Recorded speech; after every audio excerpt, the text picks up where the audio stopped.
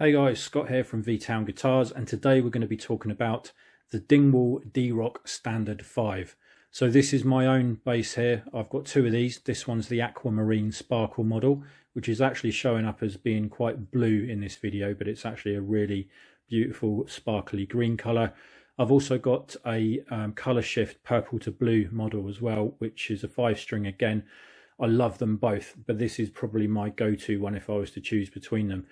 So I'll talk about the bases themselves, how they're put together, and then I'll show you a couple of the little mods that I've done. So first of all, you can see we've got the five string model here.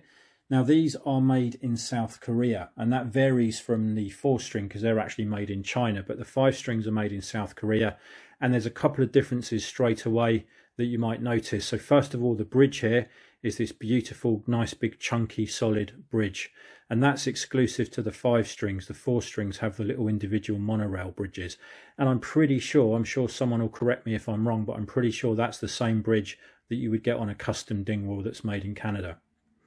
So the second difference with the Korean models is that they come, as standard, with Luminlay side markers. You don't get that on the four string, and this isn't advertised either. Whenever I see a, a, retailer selling these bases, they never seem to push the fact that they've got these Luminlay side markers, and I don't quite understand why that is because it's a really big feature and it's something you can have as an option on the custom shop models. So, in addition, they also usually have a decal on here, like a vinyl black decal the uh, custom shop D-Rocs have a wooden pick guard here, and I'm going to talk about that more in a moment. But I've actually removed the vinyl decal on both of my uh, standard models, as you can see here. Also, I've added these neck illusion uh, block markers. Now, these are just stickers. They're not permanent. They can be removed really quickly and easily. But these ones in particular match the colour really, really well. And I absolutely love these. So uh, a lot of people will be... Um, let's just say they tend to split the room when it comes to opinion on these neck illusions, but I really like them. I think they're fantastic and really easy to apply as well. The only other little mod I've done here is to add Dingwall knobs. So these come with sort of metal dome knobs normally, but I've added the Dingwall ones on here. And the other thing to note as well about what these come with as standard, if I just flip this over, they come with Dunlop strap locks fitted as standard, and they're the recessed versions that you can see here here's the other the, the other one there. So you don't get those on the um, on the Dingwalls normally on the, the, the NG3s and stuff. They don't come with strap boxes standard but they do. You obviously get both parts as well. You get the part that attaches to the strap uh, which is a really nice little feature as well. But just so you can see the back of the neck here as well it's all really quality wood. You've got lovely Hipshot tuners up here We've got a nice um, control panel there, control cavity cover, which gives you all of the information on the back as well. And actually says made in South Korea there. So I name my bases as well. This one's called Lily. Um, but the paint on this is absolutely flawless. You know, this I can get lost in this. It's absolutely dreamy, really is. Just coming around the back, you can see the uh, the jack socket there as well. So I absolutely love these. these. These are passive, so there's nothing fancy about this at all. You've got a volume control, you've got a rotary pickup selector, four-way pickup selector, and then you've got a passive tone control. What I've actually done on both of mine, and this was a friend of mine called Matthew that actually recommended to me to do this, I have swapped, physically swapped the neck and the bridge pickups over. So I haven't unwired them or done anything like that. All I did was took the strings off, opened up the control cavity, there's a little cable tie that you need to snip. And then that enables you to have enough free play in the wire to be able to swap these two pickups over.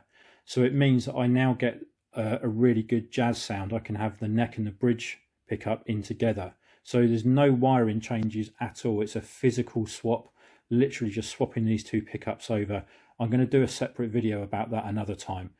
But I just wanted to show you this bass. I'll talk about the the other one as well in, in a, a little while. We'll go and do a separate video on my purple one because it is slightly different. Okay, so I'll be back in a moment and I've got something else to show you. Okay, so this is the next thing I wanted to show you. So I'm actually making, for both of my D-Roc standards, a, uh, a wooden pickguard. This isn't it, this is just a template, which is why it's so thick, but this is just made of MDF.